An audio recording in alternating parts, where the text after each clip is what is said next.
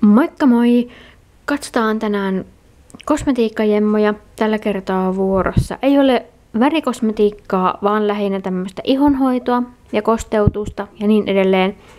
Ja nämä laatikot on minun tuosta lipastosta, mitkä on eteisen käytävällä, niin sieltä sitten aina käyn noukkimassa niitä tuotteita, mitä tarvitsen tai otan käyttöön. Eli nämä on lähinnä oikeastaan jemmoja, jotka tulee sitten jossain vaiheessa ihan käyttöön asti, mutta muutamaa tuotetta on sitten tullut jo käytettyä. Ja aloitetaan tästä. Tämä on Essensen siveltimienpesuaine. Korkkasin nyt käyttöön tässä jo jokunen tovi sitten Boxicharmista tulleen siveltimenpesuaineen, niin hyppäsin tämän yli. Eli tämä on viime kesänä ostettu keskiseltä ja nämä oli silloin miinus 50 prossaa, eli poistuvat silloin valikoimasta. Eli valitettavasti näitä ei enää saa. Ja sen löytyy pari käsigeeliä. Nämä on Source Balance-merkin. En yhtään muista kyllä, että mistä on nämä ostanut. Viime vuoden puolella kumminkin. Ja sitten löytyy Carexin Bubblegum Fun Edition Hand Gel. Ja tämä on ostettu kanssa viime vuonna tuolta Superdrug-verkkokaupasta. Sen siellä on yksi terotin. Sitten Pharmacin Very Cherry Clean putsari. Sitten täällä löytyy Filorgan misellivesi. Tää on tämmönen näytepakkaus. Sitten täällä on hiusöljy, tai seerumi oikeastaan. Ja tää on mulla nyt ollut käytössä, eli on tätä jo käyttänyt. Sitten täällä on Oriflamein kasvovesi. Tämä on siis se vanha pakkaus ja uusia pakkauksia minulla on kaksi kappaletta. Eli tämä tuli tuon edellisen tilalle. Tässä on erona se, että tässä on orgaanista teepuuta sekä sitten limeä, kun tuossa toisessa oli aloe veraa ja näitä tosiaankin kaksi kappaletta.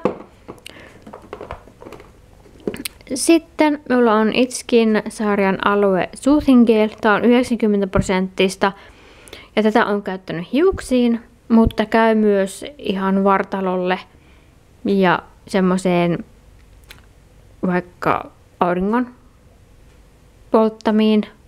Ja jos säilyttää jääkaapissa, niin on sitten vielä parempi. Näitä on kaksi kappaletta, toinen on avaamaton ja toista on käyttänyt.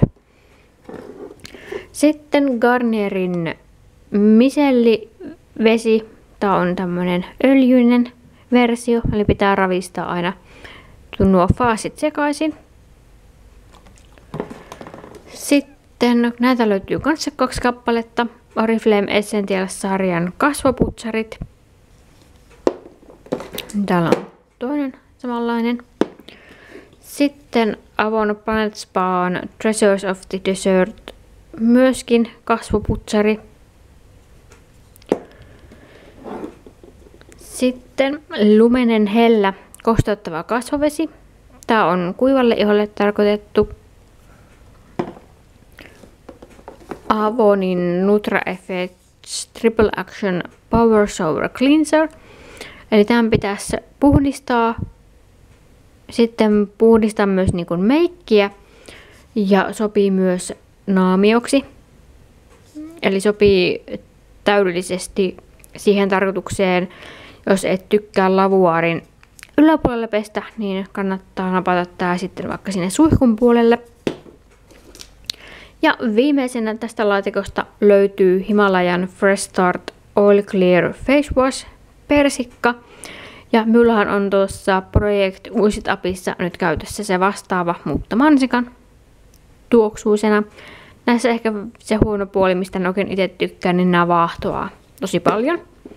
Sitten seuraava laatikko näyttää tältä. Tällä puolella on puolison juttu ja sieltä löytyy hiusharjaa ja muutama dödö ja höyliä. Mutta lähdetään liikkeelle vaikka noista voiteista. Aloitetaan silmän ympärysjutuista. Niitä löytyy kaksi kappaletta. Tämä Muradin Hydrodynamic Ultimate Moisture for Eyes. Tää tuli Boxicharmista.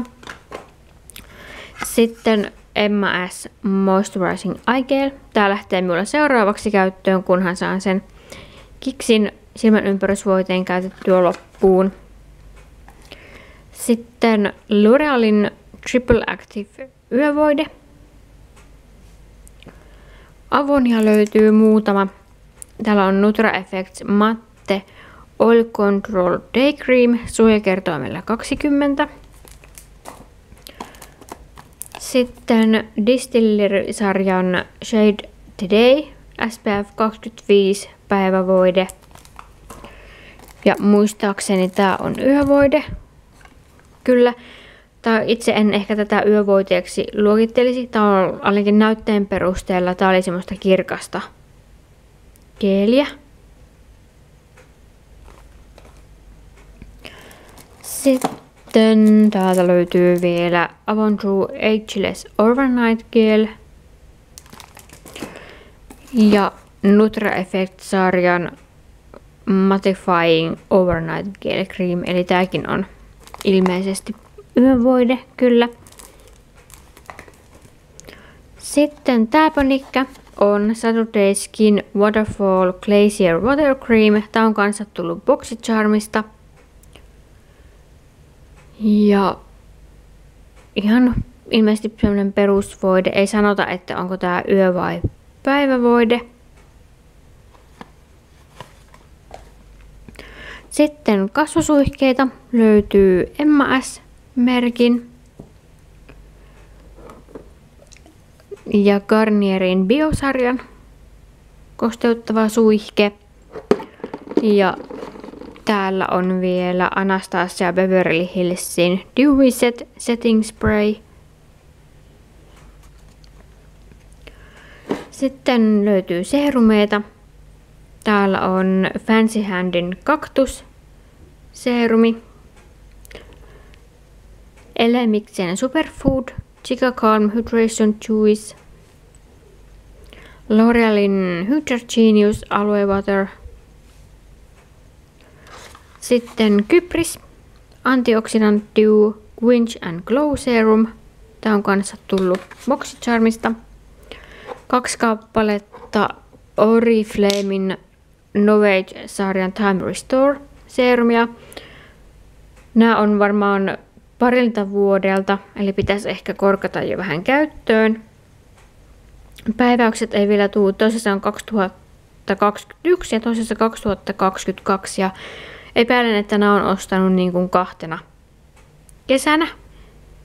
Eli toinen on ehkä viime vuodelta ja toinen on ostettu epäilisin pari vuotta sitten. Kun Oriflamelta saa aina synttärilahjaksi valita tietyistä kategorista tuotteita, niin yleensä on ollut näitä jotain seerumeita, niin on valinnut tämän Time Restoren, vaikka en ihan ikäni puolesta siihen sarjaan vielä kuulu. Sitten löytyy Essensen Bloom Baby Bloom Healthy Grow Primer Oil Deo puolelta Jason Norris Apricot Deodorant Stick. Tää on tilannut iHerbistä. Sitten Garnier Deodorant Neo.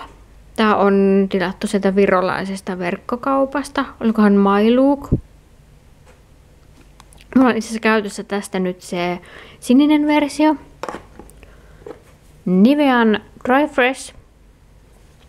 Ja vielä neljäntenä Rexonan tämmönen Biorhythm puutareita löytyy täältä. Siaten Coconut Setting Powder.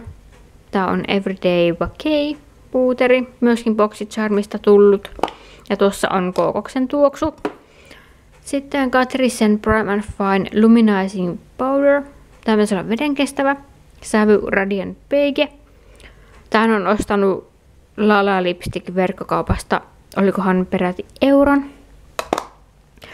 Ja sitten jättikokoinen Essensen Prime and Last Daily Diaries Trend Editionista viime vuodelta. Tämmönen jumbo-kokoinen fixing powder. Ja tää on ihan tämmönen läpinäkyvä puuteri. Ja sitten löytyy omalta puolelta vielä Lemon Juice and Glycerinin käsikuorinta. Ja siinäpä olikin nämä ihonhoitotuotejemmat. Pikkuhiljaa niitä saa aina käytettyä. Yritän aina pitää niin, että pidän yhtä tuotetta kerrallaan avattuna. Eli näistäkin muutamia lukuun ottamatta niin löytyy sitten käyttämättömänä olevia, eli on ihan uusia, mutta muutama on avattu ja sitten täältä laatikosta aina nappaan ne, jos on tarvis. Mutta tämmönen pieni video tällä kertaa. Moi moi!